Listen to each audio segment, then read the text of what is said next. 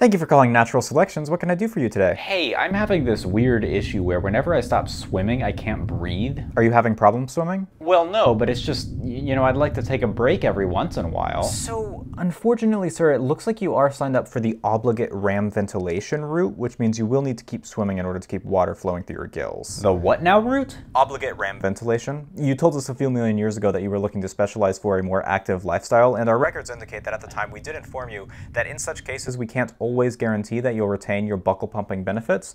So we did have to reduce the size of your spiracles. Wait, no, hold on. Why? Why would I lose those benefits? Wouldn't it make sense to give me the option to breathe either way? Well, no, because we save a lot of resources if you don't. So I just have to keep swimming perpetually until I die? What if I want to sleep? There are still ways to do that. Uh, some of our other obligate ram clientele have tried drifting along slowly in a semi-catatonic state, so maybe you could try that. Ugh, I did not sign up for this. That's what they all say. Thank you for calling, sir.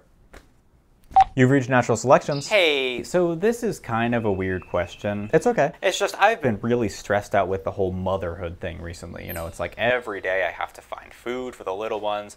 I have to groom them. I have to make sure they don't fall out of the nest. You know, it's just such a hassle. Okay, so are you... And you know, I read all those parenting books and I thought I knew what I was getting myself into, but I guess not. Ma'am, are you trying to say that you don't have sufficient resources to raise your kids anymore? Well, you know, about that, here, here, here, here's an interesting thing. I was thinking, what if I could get somebody else to raise my kids for me? You know, if that if that could happen, you know, that would be great. You want someone else to raise your kids? Yeah, you know, like a nanny, except permanent. It, it, it's not like I don't like my kids. It's just that I don't want to have to feed them or take care of them or really ever see them again. Well, ma'am, we could give you a few behavioral tweaks to make it easier for you to drop your eggs into the nests of other birds, but I must warn you that this is not an entirely risk-free option. Hey, as long as it gets rid of the kids, I don't care how risky an option it is. In that case, uh, I will see what I can do. Thank you. You've reached Natural Selections. Hey, uh, do you guys have any idea what happened to my right claw? Yes, Mr. Fiddler Crab, right? Uh, let me take a look. I remember we had to buff it out a little. Yeah, well now it's like way too big. It's like the same size as the rest of my body. So Sir, based on your records, it looks like you've been getting into a lot of fights with the other males of your species. Is that correct? I mean, I used to do that all the time, but nowadays our claws are so big we can't even really use them for fighting. So we just sort of stand there and wave them in each other's faces, and then the one of us with the smaller claw backs off. So that's the problem that we have with reducing your claw size, because if we made your claw smaller, then you would have to back off every time, which would mean you would never reproduce. But none of us even really like having these things anyway. Can't you just I don't know, simultaneously make them smaller for everyone? Unfortunately, that's not possible, sir. So what happens if my claw keeps getting bigger, huh? Uh, pretty soon I won't be able to walk. We will make sure it stops growing before it becomes a serious impediment, don't worry. Oh, okay, so that's how this company works. You'll keep making my life more and more inconvenient right up until the point where it impacts my survival, but not past then.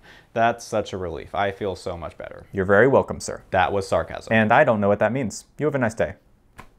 You've reached natural selections. Hey, do you all want to explain what happened to all my eggs? Your eggs? So a few months ago, I left my eggs in my nest to go get food, and when I come back, all of my eggs except for one have disappeared from the nest. And you know, I said to myself, Mrs. Warbler, you know, that's weird, but sometimes that sort of thing can happen. You know, maybe there was a strong gust of wind or something. Mm-hmm, I see. But I soon start having suspicions of the contrary when that egg hatches, and what comes out but a bird that looks nothing at all like a reed warbler. It was all gray, and it had a very orange beak, and it quickly grew to be two or three times my size. Mrs. Warbler, I'm not entirely sure I follow what you're trying to say. I'm saying that some other bird, the mother of that bird, tricked me. And you know, I've been reading about how this company works, and I know that if that bird knew how to trick me, it had to be because you gave it some behavioral benefit so it would know how to trick me. Ma'am, I'm afraid we have a strict privacy policy as pertains to the records of our other customers. You all trained that bird how to infiltrate my nest, didn't you? Ma'am? I knew there was something fishy going on. Y you know, what's the point of paying for this subscription service if you're all gonna stab us in the back the second you- Ma'am, if you're willing to cooperate, I'm certain we can work out an adaptation to help you through this. Oh yeah? And what's your idea? Well, one thing we could do is we could add some distinctive brown spots to your eggs to make it easier for you to distinguish your eggs from those of the imposter. Do you think that would help? And if I say yes, how sure can I be that you'll hold up your end of the deal? You can trust us, ma'am. Your satisfaction is our, um, it's one of our priorities. One of them? You have a nice day, ma'am. You've reached Natural Selections. Hi, I'm a little confused. What are you confused about, sir? I've been trying to cancel my subscription for like 60 million years, but every time I think I've done that, I just get another charge to my account during the next billing cycle. I am very sorry to hear our service isn't to your satisfaction, sir. well, you know, it's just the subscription used to be worth it when there were a lot of other people I knew who were using it, but the rest of my family canceled their subscription periods ago, and I'm thinking, you know, maybe it's time I logged off. Well, in that case, I can walk you through the cancellation process. If you navigate to your homepage and you look at the upper right-hand corner, you should see an account settings button. Uh, okay. Now, if you navigate to the bottom of the pop-up menu and you click on the... Tuatara, what are you doing over there? Oh, God. Are you trying to cancel that subscription again? Why do you care, huh? It wasn't long ago when you almost got me to cancel it by bringing those stupid rats into the house. I told you you're the only living member of the Rhynchocephalians and a protected species. Do I have to put you in a conservatory again? I- I'm, I'm sorry, this is a bad time. My roommate is throwing a fit. I'm gonna have to call you back. You can call us back anytime, sir.